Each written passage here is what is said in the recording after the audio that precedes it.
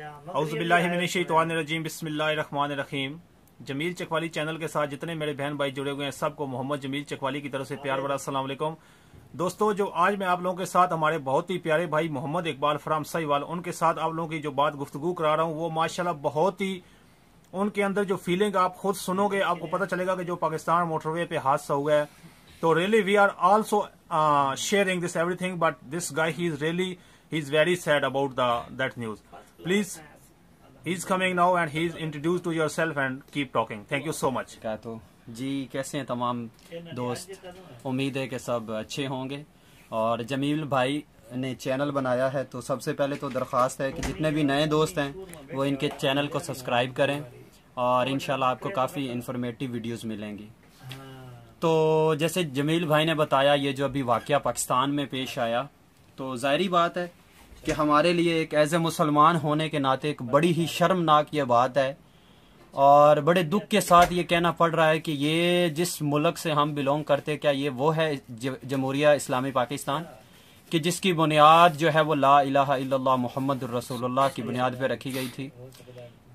जमील भाई, आप जो है ना, अंदाज़ा नहीं लगा सकते कि उस दिन जब ये वाक़ सुना, आप यकीन करें कि इंतहाई दुख और अफसोस की बात यह है कि यार हम लोग जो है ना यहाँ पे अपने मुल्क से दूर जब आते हैं ना तो हम अपने मुल्क को एक रिप्रेजेंट कर रहे होते हैं। और जब इस तरह का कोई वाक़ आता है ना, और जब इस बात को इंटरनेशनल मीडिया पे हम लोग देखते हैं तो इंतहाई दुख होता है। और आप यकीन करें कि इंटरनेशनल मीडिया पे अगर आप देख लें, दो से तीन दिन या चार दिन में आपको ऐसे वाकयात जो है ना वो डेली मिलते हैं। और ये मैं सिर्फ़ इसलिए बात कर रहा हूँ कि क्या हम लोग जो है वो इतने गिर चुके हैं कि हमें किसी की माँ, बहन, बेटी के साथ ये करते हुए अपनी माँ, बहन, बेटी का ख्याल नहीं आता। आप यकीन करें यकीन करें कि यार इतने अफसोस की बात है कि चले, ठीक है, एक पहले दुख होता था कि चले जी, इंसान की जो है ना वो जान महफूज नहीं है। अब लोगों ने जो है वो इज़्ज़त के साथ भी खेलना शुरू कर दिया है। नन्नी नन्नी मासूम कलियाँ जो अभी तक परवरिश चढ़ी भी नहीं है आप यकीन करें कि उनको पहले ही रौन दिया जाता है। और ये बड़े अफसोस की बात है, आप यकीन करें, बहुत ही ज़्यादा अफसोस की बात है। और मैं इस बारे में हुकूमत को कसूरवार नहीं बोलता। मैं इस मामले में जो अपनी मेरी जो राय है, वो कसूरवार, मैं इसलिए कहता हूँ कि ये सिर्फ़ और सिर्फ़ तरबियत का असर है। ऐसे वालदान जो अपनी औलाद की तरबियत करते हैं, क्या उनको नहीं पता होता? यह सब कुछ पता होता है। आप यकीन करें, जब बच्चा कोई भी गलत कदम उठाता है तो सबसे पहले उसके वालदेन को पता होता है। तो मैं सिर्फ़ ये कहना चाहूँगा कि वालदेन को अपने बच्चों की तरबियत के ऊपर जो है, वो ज़ोर देना चाहिए। ये नहीं, इसमें हर बंदे को अभी इन्वॉल्वमेंट कर रहे हैं, जी गवर्नमेंट क्या करे? गवर्नमेंट क्या कर सकती है भाई? जब आप लोग खुद, आप देखें कि हमारा क्या कल्चर बन चुका है। क्या हो रहा है आजकल पाकिस्तान के अंदर? मुझे बताएँ, क्या क्या हो रहा है यहाँ पे? और आप जो है, जनाब जी, आप बोल रहे हैं, जी, हुकूमत का कसूरवार है। मैं ये नहीं कहता, अभी देखें आपके, ये जैनब वाला किस्सा अभी चंद दिनों में हुआ है। उसके बाद ये जो अभी साहिवाल के अंदर पहला वाक्य हुआ, उसके बाद अभी ये फिर वाक्य हो रहा है। ये क्या आप लोगों ने एक दरिंदगी फैलाई हुई है? मैं बता नहीं सकता आपको ये कितने दुख की बात है। आप यकीन करें कि जंगल के अंदर भी कोई कानून होता है, कि जंगल के अंदर भी जानवर किसी का जब शिकार करता है तो वो अगर उस जानवर के छोटे बच्चे होते हैं तो वो उसको नहीं खाता। बल्कि वो देखता है कि ये नामालूद है, सिर्फ़ उस जानवर को खाता है, बल्कि उस बच्चों को नहीं छेड़ता। और हमारा इतना भी सिस्टम नहीं है, इतना भी सिस्टम नहीं है।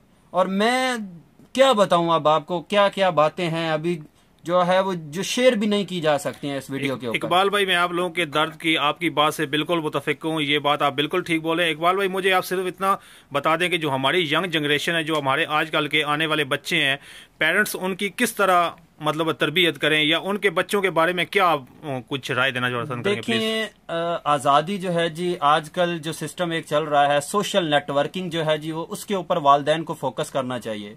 सबसे पहली बात है मैं ये नहीं कहता कि बच्चों को मोबाइल फ़ोन ना यूज़ करने दें। आप मोबाइल फ़ोन यूज़ करने दें लेकिन एक लिमिट में रखें। अपने बच्चों के ऊपर वो क्या चीज़ देख रहे हैं क्या कर रहे हैं उनसे पूछें। अब ये नहीं वो दौर रहा है कि जी हम इस चीज़ से इनकार कर दे। नहीं जी बच्चों को इन चीज़ों से दूर रखें। बिल्कुल नहीं। ये ठीक है कि सब कुछ हो, आप पॉजिटिविटी और नेगेटिविटी दोनों चीज़ें हैं। लेकिन जब आप कोई चीज़ उसको दे रहे हैं, फ़र्ज़ करें आप मोबाइल फ़ोन ही ले लें, अगर उसका अकाउंट कुछ इस तरह के हैं, आप उसके ऊपर नज़र रखें, आप अच्छी तरबियत करें अपने बच्चों की, क्योंकि इंसान सबसे ज़्यादा जो है वो तरबियत सीखता है। आप किसी उस्ताद से, उस्ताद जो है वो एक आपका जो रूहानी उस्ताद है, वो सिखाता है। उससे पहले जो बच्चे की सीखने की होती है, जो सिखाने की होती है, वो बचपन से होती है।